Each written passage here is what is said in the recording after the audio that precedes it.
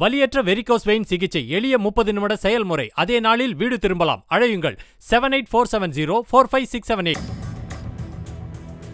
Bollywood நடிகையான Deepika Padukone ஹைதராபாத்தில் உள்ள தனியார் மருத்துவமனையில் அனுமதிக்கப்பட்டு சிகிச்சை பெற்றார்.